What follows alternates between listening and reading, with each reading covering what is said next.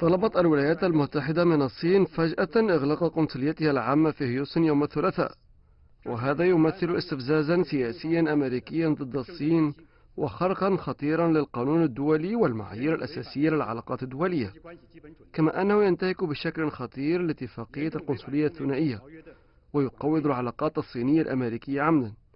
أن الصين تدين بشدة هذه الخطوة غير الأخلاقية وغير العادلة. ونحث الولايات المتحدة على تصحيح هذا القرار غير الصحيح على الفور.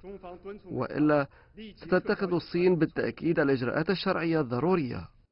وقالت بكين إن القنصلية العامة في هيوستن ما زالت تعمل مفتوح وقالت أيضا إن السفارات الصينية لدى الولايات المتحدة أفادت بتلقيها تهديدات بالقتل والقنابل مرتبطة بأعمال التمييز العنصري ضد السكان من أصل آسيوي في الولايات المتحدة.